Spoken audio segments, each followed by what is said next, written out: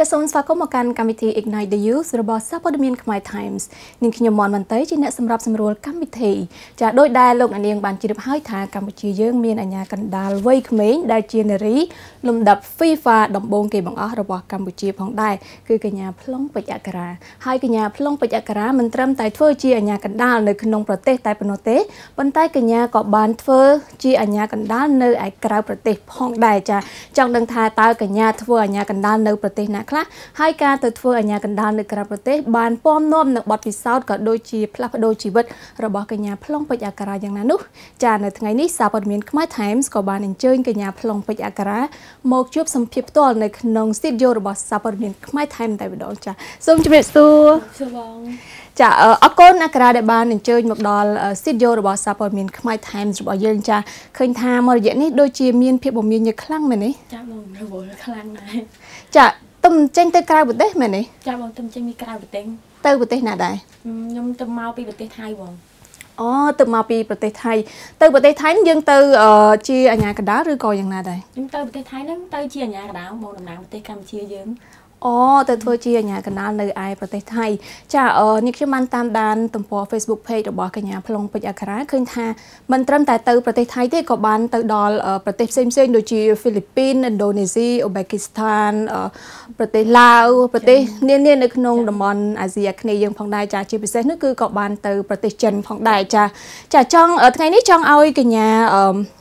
ចែករំលែកបទពិសោធន៍បន្តិចចាជាពិសេសនោះគឺទៅប្រទេសចិនតែម្ដងចាឃើញថានៅប្រទេសចិននៅពេលដែលកញ្ញាទៅប្រទេសចិនទៅនិយាយភាសាចិនឬក៏ភាសាអង់គ្លេសចាបងពេលដែលខ្ញុំទៅប្រទេសចិនហ្នឹងគឺប្រើភាសាអង់គ្លេសនិយាយទៅគេយកភាសាអង់គ្លេសជាគោលទាំងអស់បងចាជិតតកតងទៅនឹងអាកាសធាតុរបបអាហារអីព្រោះថានៅប្រទេសចិនទៅជាក់ជាងនៅស្រុកខ្មែរយើងថាយើងយើងដូចថាអាដាប់ខ្លួនរបស់យើងយ៉ាងម៉េចទៅចា ចាំពេលខ្ញុំទៅដំបងវារៀងពិបាកដែរអញ្ចឹងដោយសារតែវារៀងត្រជាក់យើងខ្មែរយើងតែវាមិនត្រជាក់ខ្លាំងហ្មងគឺអាម៉មចាបងតែខ្ញុំពិបាកសម្របខ្លាំងជាងគេគឺអាហារនោះម្ដងហេតុអីចាអាហារដែលខ្ញុំញ៉ាំហ្នឹងភាគច្រើនមើលទៅវារៀងមានជាតិខ្លាញ់ហ៎បងជាតិខ្លាញ់ជាតិខ្លាញ់គេអំប៉ុនគេហ្នឹងតែខ្ញុំអត់សូវចូលចិត្តខ្លាញ់ដល់ចឹងរៀងពិបាកសម្របបន្តិចតែនៅតែព្យាយាមអីចឹងហ៎បងចាជឿតកតងទៅនឹងការទទួលស្វាគមន៍របស់ប្រជាជនចិននៅនៅឯប្រទេសចិនវិញយ៉ាងម៉េចដែរនិយាយទៅបងសម្រាប់ការទទួលស្វាគមន៍គឺគឺល្អមែនតើមកនិយាយទៅកក់ក្ដៅហ្មង អាចថាបានថាយើងជាវាថាដូចយើងជាស្ដេចចឹងគេនិយាយទៅគេការពារយើងរហូតហ្មងហើយគេជួយសម្រួលយើងរហូតយើងត្រូវការខ្វះខាតអីយើងប្រាប់គេគឺគេជួយយើងទាំងអស់ហ្មងបងទៅណាមកណាអីគឺគេតាមការពារជួយចឹងបងចានេះគឺជាបទពិសោធន៍ទូទៅមួយចាតកតងទៅនឹងវិស័យអញ្ញាកណ្ដាលវិញចាអឺអក្សរាបានទៅដូចជា9ឬក៏10ប្រទេសហើយចាឥឡូវយើងផ្ដោតសំខាន់ទៅលើប្រទេសចិនអក្សរាបានទៅធ្វើជាអញ្ញាកណ្ដាលនៅប្រទេសចិនប្រហែលដងហើយ ចាបងខ្ញុំទៅធ្វើអាញាកដាននៅប្រទេសចិនហ្នឹងបាន2ដងហើយទឹមតែឥឡូវឥឡូវដែរចឹងបងទឹមថ្មីថ្មីនេះទេចាថ្មីថ្មីហ្នឹងចាការប្រកួតអឺទាំងពីរហ្នឹងខុសទាំងពីរហ្នឹងខុសគ្នាបែបម៉េចដែរការប្រកួតទាំងពីរហ្នឹងខុសគ្នាបងនិយាយទៅការប្រកួតពីរហ្នឹងសិតធំដូចគ្នាតែការខ្ញុំទៅទី1ហ្នឹងគឺកម្មវិធី Asian Game នៅនៅប្រទេសចិនដែលធ្វើនៅហាងជូវហ្នឹងបងហើយកម្មកម្មវិធីហ្នឹងគឺធំដោយសារតែវាជាកម្មវិធីរបស់អាស៊ីហ្មងគឺមានប្រទេសចូលរួមគឺអាស៊ីទាំងអស់ហើយកម្មវិធីទី2ហ្នឹងក៏ជាកម្មវិធីដែលធំខ្លាំងបំផុតដែរគឺកម្មវិធី AAC Women Olympic round 2បងគឺការជំរុះជាជើងទី2ចឹងបងនិយាយទៅសិតតែកម្មវិធីល្អទាំងអស់ធំខ្លាំងបងចាចាអឺអក្សរាគឺជាអាញាកណ្ដាលលំដាប់ FIFA ដំបូងរបស់កម្ពុជាបើយើងនិយាយធម្មតាគឺលំដាប់អន្តរជាតិណារបស់កម្ពុជាដំបូងគេបង្អស់អក្សរាមានមោទនភាពចំពោះខ្លួនឯងទេដែលធ្វើជាដែលបានជាប់ជាអាញាកណ្ដាលលំដាប់ FIFA នេះ ចាបងនិយាយទៅខ្ញុំមានមោទនភាពសម្រាប់ខ្លួនឯងមែនទែនដែលបានជាប់អាញាកណ្ដាលសម្រាប់ FIFA ហើយដំបូងគេអស់ហើយតំណាងឲ្យប្រទេសកម្ពុជាទៀតនិយាយទៅខ្ញុំនិយាយចាំទៅឲ្យតែពាក្យហ្នឹងអ្វីដែលគេនិយាយមកប្រាប់ខ្ញុំអញ្ចឹងគឺខ្ញុំមានអារម្មណ៍ថាខ្ញុំចង់តែយកមកហូបមកបងឲ្យតែលើពាក្យថាដំបូងគេដំបូងគេអញ្ចឹង គឺសប្បាយចិត្តខ្លាំងមែនទែនគឺថាយើងមានមោទនភាពខ្លាំងមែនទែនតែម្ដងចុះចំណែកក្រុមគ្រួសារនិងមិត្តភ័ក្តិវិញគាត់ដូចថាមានការចូលរួមអបអរសាទរទេហើយម្យ៉ាងវិញទៀតយើងជានារីប៉ុន្តែធ្វើជាអាញាកដាលអញ្ចឹងណាគាត់មានពាក្យពេចន៍អីយ៉ាងម៉េចដែរអឺសម្រាប់គ្រួសារខ្ញុំវិញគឺគាត់តែងតែជំរុញរហូតចឹងបងហើយនៅពេលដែលខ្ញុំប្រាប់គាត់ថាខ្ញុំត្រូវដឹកនាំការប្រកួតខ្ញុំត្រូវទៅប្រទេសនេះខ្ញុំត្រូវការធ្វើតេស្តអីចឹងគឺពួកគាត់តែងតែផ្ញើសារលើកទឹកចិត្ត ជូនពររហូតហើយពេលដែលខ្ញុំចាប់តេស្តហើយគាត់តែងតែឆាតសួរអីចឹងកូនមកអីចឹងណាហើយសម្រាប់មិត្តភ័ក្តិតែងតែជំរុញលើកទឹកចិត្តរហូតដល់ពេលណាខ្ញុំចង់បាក់ទឹកចិត្តតែម្ដងម្ដងគឺពួកគាត់តែងតែជួយជំរុញដូចគ្នាចឹងបាក់ទឹកចិត្តនៅពេលណាអឺនិយាយទៅនៅពេលដែលបងពេលខ្លះគឺយើងវឹកហាត់គឺហត់ខ្លាំងមែនទែនបងយើងត្រូវប្រើពេលវេលាពេលហាត់ហ្នឹងមិនមែនចេះតែហាត់ហាត់ចឹងណាគឺយើងហត់ហាត់និយាយទៅហត់ខ្លាំងដែលយត់សារតែយើងហាត់ដោយខ្លួនឯងអត់មានគ្រូជួយបង្ហាត់អីចឹងពេលខ្លះសាច់ដុំយើងគឺឈឺខ្លាំងមែនទែនពេលខ្លះចង់តែបោះបង់ដោយសារតែ វាវាថាវាចង់ទ្រាំឲ្យអស់ចឹងបងតែនៅតែព្យាយាមព្យាយាមតែ នៅតែមានកូនចិត្តពេលខ្លះយើងចង់នេះដែរចឹងព្រោះថាវាហត់ខ្លាំងចឹងបងចាវាហត់ខ្លាំងប៉ុន្តែអ្វីដែលជំរុញអក្សរាឲ្យបន្តតស៊ូរហូតមកដល់ថ្ងៃនេះព្រោះថាឃើញថាតាមការស្ដាប់ទៅឃើញថាពេលហាត់ហ្នឹងគឺពិបាកខ្លាំងប៉ុន្តែអ្វីដែលធ្វើឲ្យយើងមានកូនចិត្តមួយថាយើងត្រូវតែតស៊ូសម្រាប់អាជីពមួយនេះសម្រាប់កូនចិត្តរបស់ខ្ញុំមួយគឺខ្ញុំ ខ្ញុំចាំដល់លោកគ្រូអាញាការបស់ខ្ញុំរបស់ប្រហែលរូបហ្នឹងគឺគាត់ដំបូងឡើយនៅពេលគាត់ឃើញខ្ញុំគាត់មានអារម្មណ៍ថាគាត់គិតថាខ្ញុំអាចទៅរកចំណុចមួយហ្នឹងបងគាត់តែលើកទឹកចិត្តថាលោកគ្រូបានត្រឹមតែជ្រួសឆ្លើយផ្លូវឲ្យកូនសិស្សទេអញ្ចឹងកូនសិស្សដើរបានឬក៏មិនដើរបានគឺជារឿងរបស់កូនសិស្សអញ្ចឹងតែពួកគាត់តែងតែជំរុញផ្ដល់ឱកាសខ្ញុំរហូតហើយខ្ញុំក៏នៅតែខិតខំព្យាយាមព្យាយាមដល់ជោគជ័យអញ្ចឹងបង ចាដើម្បីតែគ្រួសារខ្ញុំក៏គាត់ដឹងថាប្រទេសកម្ពុជាយើងថាអត់មានអាញាក្រៅអីចឹងណាចាដល់ពេលខ្ញុំប្រាប់ទៅបានគាត់រំភើបដូចគ្នាចឹងបងចាអឺបើគិតទៅតាំងពីយើងជាប់ឈ្មោះជាអាញាកណ្ដាលលំដាប់ FIFA ហ្នឹងគឺរយៈពេលប្រហែលខែហើយមកដល់ពេលនេះដល់ពេលនេះគឺរយៈពេលដូចជាខ្ញុំជាប់កម្រិត FIFA ហ្នឹងនៅឆ្នាំមុនបងនៅឆ្នាំមុនចាតែសំខាន់គឺឆ្នាំនេះខ្ញុំជោគជ័យខ្លាំងមែនទែនដោយសារតែខ្ញុំជាប់ជាអាញាកណ្ដាល AFC ទៀត AFC ចា AFC ហ្នឹងគឺអាញាកដាលមិន copy FIFA ឬក៏យ៉ាងម៉េចអាញាកដាលរបស់ត្រឹម FIFA ហ្នឹងគឺអាញាកដាលមួយគឺកម្រិតអាស៊ានចុះន័យថាការប្រកួតរបស់អាស៊ានទើបមានអាញាកដា AFF AFF ហ្នឹងគឺជាអាញាកដាដែលមិនមែនជាអាញាកដាជាប់ AAC អញ្ចឹងទៅដឹកនាំការប្រកួតបានតែត្រឹមការប្រកួតអាស៊ានដែលមានប្រទេសយើង11ប្រទេសហ្នឹងណាបងចាតែសម្រាប់អាញាកដា AAC គឺយើងត្រូវការប្រឡងយើងត្រូវការនិយាយទៅខ្លាំងមែនទែនដើម្បីជាប់ជាអាញាកដា AAC ដើម្បីដឹកនាំការប្រកួតអាស៊ីទាំងមូលហ្មង ចា AFC ហើយឥឡូវយើងបានជាប់មួយកម្រិតទៀតគឺ AFC ចាបង AFC ហ្នឹងគឺដឹកនាំការប្រកួតអាស៊ីធំហ្មងហើយយើងត្រូវប្រជែងជាមួយអាញាកដាអាស៊ីនារីទាំងអស់ដែលស្ថិតនៅក្នុងអាស៊ីដើម្បីយើងចម្រាញ់គឺអាចចាប់បាន World Cup ដូចគ្នាសំខាន់តើយើងជាប់អាញាកដា AFC បានយើងមានសិទ្ធចាប់អាញាកដា World Cup តែគឺត្រូវការចម្រាញ់ដូចគ្នាអញ្ចឹងបងចាអូអញ្ចឹងគឺបានន័យថាជីវិតរបស់យើងគឺកាន់តែជោគជ័យទៅមួយកម្រិតទៀតចាអឺមួយទៀតនៅពេលដែលយើងអឺ ជាប់ជាអាញាកណ្ដាលមិនថាលំដាប់ FIFA ឬក៏លំដាប់ AFC ទេចាឃើញថាពីមុនមកមុននឹងយើងជាប់ជាអាញាកដាលតើជីវភាពរស់នៅរបស់យើងនឹងអឺលំបាកខ្លាំងឬក៏ឬក៏ឥឡូវនេះប្រសើរជាងមុនឬក៏ពីមុនប្រសើរជាងមុនអឺគឺឥឡូវហ្នឹងរៀងប្រសើរជាងមុនបងនៅពេលដែលខ្ញុំចាប់ចូលជាអាញាកដាគឺជីវភាពរៀងធូររៀងសើអញ្ចឹងហើយនៅពេលដែលអត់ទាន់ចាប់ជាអាញាកដាគឺរៀងពិបាកដោយសារតែយើងអត់មានសមត្ថភាពណាជួយប៉ាម៉ាក់អញ្ចឹងណា ព្រោះប៉ាម៉ាក់ខ្ញុំក៏គាត់មិនមែនជាអ្នកនេះដែរគ្រាន់ថាប៉ាខ្ញុំគឺជាបលិចរាចរតាមផ្លូវយាមតាមស្តុបហាភ្លៀងហាខ្យល់អញ្ចឹងបងហើយម៉ាក់ខ្ញុំគឺជាកម្មការនៃរោងចក្រអូចាប៉ុន្តែឥឡូវគាត់ឈប់ហើយមែនទេឥឡូវគាត់ឈប់បងដោយសារតែខ្ញុំបានជួយគាត់ច្រើនហើយអញ្ចឹងណាបងព្រោះថាប៉ាខ្ញុំនិយាយទៅប៉ាខ្ញុំដូចមេគ្រួសារអញ្ចឹងគាត់ចេញពីហាចាប់តាមស្តុបតាមអីហើយគាត់ ត្រូវទៅផ្សារបងត្រូវទៅផ្សារធ្វើម្ហូបដើម្បីម៉ាក់ខ្ញុំចេញពីរោងចក្រហើយពួកខ្ញុំចេញពីរៀនធ្វើម្ហូបឲ្យអញ្ចឹងហើយតនេទៅគាត់រត់មកចាចាប៉ុន្តែឥឡូវនេះគឺគាត់ឈប់ធ្វើការងារទាំងអស់ហ្នឹងហើយដោយសារតែយើងជាអាញាកណ្ដាលមួយរូបដែលមានសមត្ថភាពហើយក៏មានប្រាក់ចំណូលគ្រប់គ្រាន់អាចចិញ្ចឹមពួកគាត់បានចានេះទីហ្នឹងគាត់ទៅនៅជនបទបងគាត់ឥឡូវជីលអីធម្មតាអញ្ចឹងអូអញ្ចឹងឥឡូវនេះគាត់នៅណាគាត់នៅជនបទនៅប្រទេសមានជ័យគ្រួសារខ្ញុំនៅឆ្ងាយពីគ្នាទាំងអស់បងអញ្ចឹងអូឥឡូវនេះគឺគាត់នៅប្រទេសមានជ័យទេហើយអាការ៉ានៅភ្នំពេញចានៅជាមួយលោកយាយហើយនឹងបងអូនបើចាអូខេចាតកតងទៅនឹងអឺនិយាយទៅការធ្វើជាអាញាកណ្ដាលនៅក្នុងប្រទេសហើយនឹងការធ្វើអាញាកណ្ដាលនៅក្រៅប្រទេសជាពិសេសគឺនៅប្រទេសចិនតើអក្សរាមើលឃើញភាពខុសគ្នាយ៉ាងម៉េចដែររវាងការធ្វើអាញាកណ្ដាលនៅក្នុងប្រទេសនិងក្រៅប្រទេសចាបងនិយាយទៅវាខុសគ្នារៀងច្រើនណាស់ចឹងបងព្រោះថា យើងធ្វើនៅក្នុងប្រទេសយើងគឺយើងចេញពីផ្ទះយើងយើងទៅដឹកនាំការប្រកួតអញ្ចឹងណាតែការឲ្យតម្លៃក៏វាមានរៀបភាពវាខ្វះខាតគ្នាច្រើនដែរដោយសារភាគច្រើនមែនពួកគាត់ប្រកាន់ថាសូវអត់សូវឲ្យតម្លៃវាថាដូចជនជាតិគ្នាឯងអញ្ចឹងណានៅស្រុកខ្មែរយើងចាគាត់តែគាត់ថាយើងធ្វើអត់ល្អអីចឹងលំអៀងអីចឹងបងភាគច្រើនមានអញ្ចឹងមែនអូធ្លាប់មានពាក្យដូចថាទស្សនិកជនគាត់និយាយថាយើងលំអៀងអីចឹងទៅចិននៅក្រៅប្រទេសវិញមានដែលគេនិយាយបែបហ្នឹងទេនៅក្រៅប្រទេស ភាគច្រើនគឺគេឲ្យតម្លៃយើងហ្មងបងហើយគេទទួលស្វាគមន៍នេះថាគេពេលយើងចេញដំណើរអញ្ចឹងគឺមានឡានប៉ូលីសឡានស្រែដើម្បីការពារឡានយើងទៅអញ្ចឹងហើយដល់ពេលដល់ក្រៅអញ្ចឹងគេស្វាគមន៍យើងទាំងអស់តាំងប្រជាជនប្រជាជនអីចឹងបងហើយកីឡាករអីគេនៅតែនៅឲ្យតម្លៃគ្នាដូចគ្នាអញ្ចឹងអចានៅនៅប្រទេសយើងអត់មានចឹងទេនៅប្រទេសយើងឥឡូវពីមុនមានការរើសអើងច្រើនណាស់ចឹងបងតែឥឡូវមានអារម្មណ៍ថាពួកគាត់ផ្លាស់ប្ដូរច្រើនគាត់ឲ្យតម្លៃប្រទេសយើងដូចគ្នាដែរចឹងបងព្រោះថា គឺពួកយើងមានកម្រិតព្រោះដោយសារតែឥឡូវហ្នឹងអញ្ញាអញ្ញាកដាលគឺគាត់ចាប់ដើមឡើងកម្រិតមួយមួយបានខ្ពស់ខ្ពស់ច្រើនទេបងអញ្ចឹងអត់សូវរងការសម្ពាធច្រើនទេវានៅមានភាកតិចមែនទែនបងចាជឿតកតងនៅក្នុងអាជីពផ្ទាល់ជាអាញាកណ្ដាលវិញ ចាអឺដូចថាក្នុងការសម្រេចចិត្តដាក់បន្ទុកឬក៏ឲ្យកាតលឿងឬកាតក្រហមទៅកីឡាករអីចឹងណាតើអាការ៉ាមើលឃើញបែបណាដែរសម្រាប់នៅ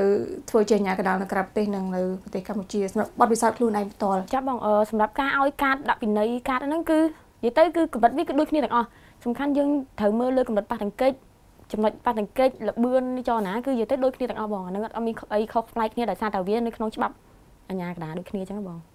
វាខុសប្លែកគ្នាជួយយើងធ្វើការសម្រេចចិត្តបែបម៉េចទៅ នៅក្នុងការដាក់បន្ទុកទៅកីឡាករឬក៏ថាទៅក្រុមចាយើងមានការសម្រេចចិត្តបែបណាទៅអានេះយើងទៀមទៀមទីឲ្យយើងដូចថាមានការគិតលះភ្នែកវៃឬក៏យ៉ាងម៉េចដែរចាបងត្រូវទៀមទាយើងរត់មានចំហត្រឹមត្រូវហើយមានមុំនៃការមើលច្បាស់លាស់ហើយយើងយកច្បាប់លបាយមកហើយការគិតទុកមុនយើងគិតថាឥឡូវហ្នឹងកីឡាករនេះកំពុងតែទៅធ្វើចលនាទៅលេងបាល់តើនៅពេលដែលប៉ះទង្គិចតើ យើងត្រូវមើលចំណុចមួយណាហើយយើងត្រូវធ្វើវិនិច្ឆ័យបែបម៉េចឲ្យគាត់ដល់កាតឬក៏អត់ដល់កាតចឹងហ៎បងចានិយាយទៅគឺចំណុចហ្នឹងគឺស្ថិតនៅក្នុងច្បាប់លបាយអស់ដែលយើងបានសិក្សាទាំងអស់បង ចាមួយទៀតតកតងទៅនឹងបទពិសោធន៍របស់កញ្ញាផ្លុងពេជ្រអក្សរាទៅធ្វើជាអាញាកណ្ដាលនៅក្រៅប្រទេសនៅតំបន់អាស៊ីក៏ដូចជាតំបន់អាស៊ីអាគ្នេយ៍តើប្រទេសមួយណាដែលអក្សរារៀនសូត្របានច្រើនជាងគេពីការធ្វើអាញាកណ្ដាលនេះហើយយកមកអនុវត្តនៅក្នុងប្រទេសកម្ពុជាក៏ដូចជាប្រទេសផ្សេងផ្សេងចាបងប្រទេសដែលខ្ញុំទៅខ្ញុំឲ្យវត្តខាងគេគឺទៅប្រទេសចិននេះបងគឺទៅទៅថ្មីថ្មីហ្នឹងគឺកម្មវិធី Asian Game ហ្នឹងអី Asia Game អត់ត្រូវ Asian Game ដោយមានអញ្ញាកដាច្រើនមែនទែនមានទាំងអញ្ញាកដាដែលធ្លាប់ចាប់ពី World Cup ក៏មកនៅដឹកនាំការប្រកួតដូចគ្នាហើយក៏មានគ្រូធំធំច្រើនមែនទែនបងនិយាយទៅនៅក្នុងហ្នឹងហ្មងដល់ពេលឲ្យឲ្យយើងសិក្សាស្វែងយល់ពីគេអភិវឌ្ឍបានលឿនបងទៅដល់នឹងគេបង្រៀនយើងឬក៏យើងលួចមើលគេហើយយើងរៀនតាមគេគេគេបង្រៀនយើងបងគេបង្រៀនយើងឲ្យយើងដឹកនាំការប្រកួតឬក៏ធ្វើចលនាលើទីលានចឹងទៅដល់ពេលយើងខុសចំណុចណាមួយគេកាយយើងចឹងចឹងភ្លាមភ្លាមហ្មងបងអាហ្នឹងវាថាវឹកហាត់ណាហើយយើងត្រូវធ្វើតេស្តកម្លាំងកាយហើយពេលខ្លះយើង យើងដល់ពេលដែលយើងបឹកហាត់ហើយយើងអង្គុយមើលគេម្ដងថាគាត់នេះអាញាកណ្ដាចាប់ World Cup ចឹងគាត់ត្រូវធ្វើមិនមិនយើងលួចចំណុចគាត់តិចតិចមកចឹងដើម្បីចាប់ style តាមគាត់អញ្ចឹងបងចាហើយអឺ មួយទៀតតកតងទៅនឹងអាកាសធាតុនៅប្រទេសចិនវិញព្រោះថានៅពេលធ្វើអាញាកដាលគឺនៅហាលវាលទៅឯងតិចយើងមានលងាឯងតិចឯងពេលទៅហ្នឹងអាពេលខ្ញុំទៅធ្វើការប្រកួតដំបូងហ្នឹងអត់សូវអីហ្មងបងដោយសារតែវាម៉ោង3កន្លះអាកាសធាតុវាតិចតែវាតិចហ្មងអត់មានក្តៅអីអត់មានអីតិចខ្លាំងដល់ពេលរៀងធ្វើវាយប់រៀងតិចតិចអីចឹងរៀងពិបាកដែរតែគាត់ថាគេមានអាវវែងឲ្យយើងចឹងបងអញ្ចឹងយើងរៀងក្បាន់ខ្លះ ប្រទេសដែលខ្ញុំទៅពិបាកជាងគេគឺទៅអូបេគីឋានហ្មងគឺជាក់ខ្លាំងយកដៃជុកអាកាសធាតុបែបហ្នឹងអញ្ចឹងហ៎ចាពិបាកត្រង់ថាអាកាសធាតុឬក៏ពិបាកអីផ្សេងអាកាសធាតុមកអាកាសធាតុនិយាយទៅត្រជាក់រហូតហ្មងតាំងពីដល់និយាយទៅត្រជាក់រាល់ថ្ងៃហ្មងហើយសំខាន់នៅពេលដឹកនាំការប្រកួតលេងម៉ោង3ហើយអាកាសធាតុ10អង្សា10អង្សាពេលខ្ញុំធ្វើហ្នឹង10អង្សាហើយមានភ្លៀងទៀតភ្លៀងហើយខ្យល់ទៀតគឺខ្ញុំពិបាកខ្លាំងមែនទែនដោយសារតែយកដៃជួបអាកាសធាតុត្រជាក់អញ្ចឹងហ៎បងចាចាមួយទៀតនេះខ្ញុំចាប់អារម្មណ៍ថាកញ្ញាក៏បានថ្មីថ្មីនេះទៅទទួលបាន AFC ចា AFC អឺកត្តាដែលយើងទទួលបានជាជាឈ្មោះជាអាញាកណ្ដាលលំដាប់ AFC នេះដោយសារតែយើងមាន credit ពី FIFA ហើយយើងដោយសារតែយើងមាន credit ក្នុងការធ្វើអាញាកណ្ដាលនៅក្រៅប្រទេសឬក៏អ្វីដែលអាចឲ្យយើងជាប់ជាអាញាកណ្ដាល AFC នេះចាបងសម្រាប់អាញាកណ្ដាល AFC ទី1គាត់លុះត្រាតែយើងជាប់ជាអាញាកណ្ដាលអន្តរជាតិសិនដែល FIFA ឬក៏ AFF ហ្នឹងចាបងចាអញ្ចឹងហើយតើយើងជាប់អាហ្នឹង ទើបយើងមានកូតាដាក់ប្រជែងជាមួយគេនៅក្នុង AFC អញ្ចឹងមុនពេលដែលខ្ញុំចូលហ្នឹងគឺសម័យ Covid ហើយពេល2022ហ្នឹងគឺពួកខ្ញុំរៀនអនឡាញរៀនអនឡាញជាមួយពួកគាត់អញ្ចឹងណាហើយគេស្វែងយល់យើងពីភាសាគេដាក់វីដេអូ quiz ឲ្យយើងអញ្ចឹងទៅហើយពេលហ្នឹងក៏ខ្ញុំពីរនាក់បងស្រីថៅនាវីដែលគាត់ជាជំនួយការហ្នឹងក៏ជាប់នៅក្នុងវគ្គហ្នឹងតែនៅពេលដែលយើងជាប់ហើយគេឲ្យយើងឲ្យលោកគ្រូខាងខ្មែរយើងហ្នឹងថតការប្រកួតពីប្រកួតឲ្យគេទៀតដឹកនាំការប្រកួតដល់ពេលយើងគាត់ថតឲ្យផ្ញើគេគេទទួលបាន ហើយគេឲ្យពួកខ្ញុំហ្នឹង record ធ្វើតេស្តឲ្យគេទៀតចាអញ្ចឹងនៅពេលខ្ញុំជាប់តេស្តហើយបានជាប់ជាអាជ្ញាកណ្ដាល AFC ចាអឺជាប់ជាអាជ្ញាកណ្ដាល AFC ហ្នឹងតាំងពីពេលណាប៉ុន្មានខែតាំងពីខែ2មកបងទៅមករៀនវគ្គខែ2ឆ្នាំហ្នឹងបងតាំងពីខែ2ខែចាបងខែកុម្ភៈចាបងខែកុម្ភៈហ្នឹងចាពិតជាពិសាមែនតើអញ្ចឹងដល់ពេលដែលយើងជាប់ជាអាជ្ញាកណ្ដាលលំដាប់ FIFA ហើយលំដាប់ AFC អាហ្នឹងគឺបានន័យថាអ អស់ហើយមែនអីយើងមានអាញាកដាលលំដាប់ខ្ពស់ជាងនឹងទៀតទេអស់ហើយបងអស់ហើយហ្នឹងគឺ elite នៅអាស៊ីយើងហ្មងបងអញ្ចឹងចាអូខេជឿអនាគតទៅចង់ចង់ធ្វើអ្វីដែលខ្ពស់ជាងនឹងទៀតឬក៏ចង់ដឹកនាំការប្រកួតនៅឯប្រទេសនៅតំបន់អឺរ៉ុបដូចជាអាមេរិកអីដែរទេអឺនិយាយទៅសម្រាប់ខ្ញុំឥឡូវហ្នឹងអត់តហ៊ានអាហ្នឹងវាខ្ពស់ពេកអញ្ចឹងតែថាចំណុចខ្ញុំមួយខ្ញុំចង់ឲ្យខ្លួនឯងធ្វើមិនដឹកនាំការប្រកួតណាដែលមានការប្រកួត final បន្តបន្តទៀតដែលនៅក្នុងការប្រកួតរបស់ AFC អញ្ចឹងបងហើយ ក្តីសម័យក៏ថាចង់ចាប់ World Cup ដែរតែមិនដឹងថាយើងទៅដល់អត់ទេតែសំខាន់យើងនៅតែព្យាយាមអញ្ចឹងបងចាដើម្បីចាប់ World Cup បានយើងយើងទៀមទាមានអីគេខ្លះអឺចាប់ World Cup នឹងបានទៀមទាគឺពេលយើងធ្វើការប្រកួតហ្នឹងគឺមានគ្រូអន្តរជាតិគេចាំកែមើលគេចាំមើលយើងការយល់ដឹងនិយាយទៅគេចម្រាញ់ច្រើនណាបងហើយគេអ្នក select ខ្លួនគេអញ្ចឹងណាព្រោះគេនោះគេអ្នកចាំមើលអាញាកដាទាំងអស់ស្រីស្រីនៅស្ថិតនៅក្នុងអាស៊ីយើងហ្នឹងហើយក៏ចម្រាញ់យើងទៅបងយើងត្រូវការបញ្ចេញ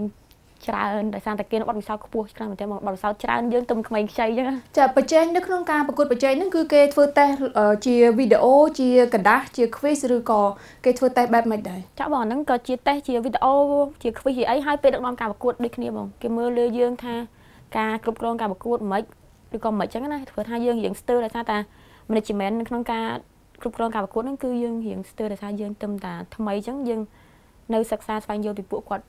ធំធំហ្នឹងទៅគាត់យល់ពីការដូចជាមែនហ្នឹងចឹងខ្លាំងអូខេចាពិតជាគួរចាប់អារម្មណ៍មែនតើចាឥឡូវនេះយើងងាកមកកញ្ញាដែលធ្វើជាអាញាកណ្ដាលនៅឯប្រទេសចិនវិញចាចង់ឲ្យកញ្ញារៀបរាប់បន្តិចតកតងទៅនឹង culture ណាវប្បធម៌របៀបរបបនៃការរស់នៅការហើយការដែលយើងបានទៅប្រទេសចិនហ្នឹងមិនមែនតែធ្វើជាអាញាកដាលយើងក៏បានទៅដូចថាទស្សនកិច្ចអីដែរមែនទេគេគេគេឲ្យយើងទៅទស្សនកិច្ចដែរទេចាឲ្យទៅបង ពេលខ្ញុំទៅហ្នឹងនិយាយទៅគេទទួលរាក់ទាក់យើងខ្លាំងមែនទែនបងដោយសារយើងជាអាញាកដាលអន្តរជាតិដែលតំណាងប្រទេសកម្ពុជាអញ្ចឹងណាហើយក៏ដូចគ្នាទាំងអស់គេទទួលយើងតាំងខ្ញុំចូលទៅលើយន្តហោះមកខាងគេ LO គេនឹងចាំយកយើងតាំងពីយើងមុខជ្រក់វិលានយន្តហោះហ្នឹងមកបងចាំយកយើងជួយ check in check out ទាំងអស់ហើយមានឡានចាំទទួលយើងនៅខាងក្រៅមួយដើម្បីជូនយើងទៅស្ថានភាពញ៉ាំស្នាក់នៅអីគាត់ថាយើងរៀងដូចថាពិបាកអាហារតែយើងនៅព្យាយាមសម្របអញ្ចឹងបងហើយនិយាយទៅគេឲ្យតម្លៃពួកយើងហ្មងគេតែងតែគោរពស្វាគមន៍យើងគ្រប់ គេទៅវិញទៅមកអញ្ចឹងចាជានៅក្នុងការប្រស័យតាក់ទងជាមួយជនជាតិចិនគឺយើងយើងនិយាយភាសាអង់គ្លេសអត់ចេះភាសាចិនទេចាអត់ខ្ញុំអត់ចេះចិនចាចាសម្រាប់អក្សរាផ្ទាល់ដែលជាយុវនារីចាអក្សរាមានដូចថាលើកទឹកចិត្តឲ្យយុវជនយើងធ្វើដំណើរទៅក្រៅប្រទេសជាពិសេសទៅប្រទេសចិនបានច្រើនទេព្រោះថាមុននឹងយើងទៅប្រទេសចិនយើងអត់ដឹងទេថានៅប្រទេសចិនហ្នឹង ទំនៀមទម្លាប់ប្រពៃណីគេមកចានៅពេលដែលយើងទៅដល់ហ្នឹងគឺយើងដូចថា culture shock ណាដូចថាយើងភ្ញាក់ផ្អើលមិនដូចអ្វីដែលយើងគិតនៅស្រុកខ្មែរណាតែអក្សរាមានដែលគិតថាលើកទឹកចិត្តឲ្យយុវជនយើងធ្វើដំណើរទៅកាន់ប្រទេសចិនឲ្យបានច្រើនដើម្បីស្វែងយល់ទេចាបងខ្ញុំតែខ្ញុំលើកទឹកចិត្តដែរតែដោយសារអីខ្ញុំមុនដំបូងខ្ញុំគិតថាប្រហែលជាទៅគេដូចអត់សូវទទួលស្វាគមន៍ឬក៏មើលទៅដូចញ៉ៃញ៉ៃមានបញ្ហាតាមពិតអត់មានទេនៅពេលយើងទៅដល់គឺប្រទេសនឹងសន្តិភាពមែនទេបងប្រជាជនគេឲ្យតម្លៃយើងទៅវិញទៅមកអ្វីដែលគេធ្វើគឺការ ការជិះការអីធ្វើដំណើររបស់គេហ្នឹងគឺគេគ្រប់តាមច្បាប់ចរាចរណ៍គេទាំងអស់បងអត់មានវាថាញ៉ៃញ៉ៃរហេរហូតទេអត់ហ្មងហើយយើងដើរម្នាក់ឯងក៏អត់មានអីភាពភ័យខ្លាចដែរអូដូចន័យថាសុវត្ថិភាពចាបងសុវត្ថិភាពខ្លាំងហ្មងជឿតកតងនឹងកូវីដអីយើងទៅមានពាក់ម៉ាស់ពាក់អីដែរទេអត់ផងឥឡូវនេះអត់មានពាក់លេងអីអស់ហើយចាតែក៏លេងមានឥឡូវលេងមានអស់ហ្មងចាអូខេអញ្ចឹងអឺជាចុងក្រោយតើអាការ៉ាមានពាក្យពេចន៍អីផ្ដាំផ្ញើទៅដល់យុវជនរបស់យើងចា ចាប់បងជាចុងក្រោយនេះខ្ញុំបានខ្ញុំសូមជូនពរហើយនឹងក៏សូមឲ្យលើកទឹកចិត្តដល់យុវជនឬក៏យុវនារីតែសំខាន់ខ្ញុំលើកទឹកចិត្តជាងគេគឺយុវនារីឲ្យគាត់ខិតខំឡើងបើសិនជាគាត់ស្រឡាញ់នៅក្នុងវិស័យណាមួយខំពុះពៀសម្រាប់ក្តីសម័យកុំចោះចាញ់ព្រោះថាក្តីសម័យរបស់យើងមួយមួយមិនមែនគិតថាចេះតែនិយាយឲ្យទៅដល់និយាយទៅដល់សំខាន់ត្រូវតែយើងអនុវត្តដូចគ្នាយើងជួបបរាជ័យជួបផលបាក់ច្រើនខ្លាំងមែនទែនតែសំខាន់យើងត្រូវចេះបត់បែនយើងត្រូវកែចំណុចអ្វីដែលខ្វះខាត ខ្វះខាតពីភាពបរាជ័យហ្នឹងដើម្បីឲ្យចាប់ដល់ក្តីសម័យរបស់យើងដើម្បីបានជោគជ័យអញ្ចឹងណាបងចាចាអូសំណួរចុងក្រោយចាកញ្ញាពេលណាបានទៅធ្វើអាញាកណ្ដាលនៅក្រៅប្រទេសទៀត ចាំមកសម្រាប់ឆ្នាំនេះខ្ញុំអត់ទាន់ដឹងថាត្រូវទៅណាទៀតដោយសារតែឥឡូវមានអារម្មណ៍ថាដូចជាវាចាប់កម្មវិធីឲ្យបងឆ្នាំនឹងអញ្ចឹងនៅឆ្នាំក្រោយខែ12ហើយចាំបងគៀកខែ12ព្រោះ tournament ខ្ញុំទៅនេះដូចជា tournament ចុងក្រោយនៅក្នុងឆ្នាំហ្នឹងហ៎បងចាអរគុណអក្សរាចាដែលបានចូលរួមនៅក្នុងកម្មវិធី Ignite the Youth របស់សាព័ត៌មានខ្មែរ Times ហើយនៅពេលនេះនាងខ្ញុំមនមន្ត្រីរួមទាំងក្រុមការងារក៏សូមអរគុណនិងសូមជម្រាបលា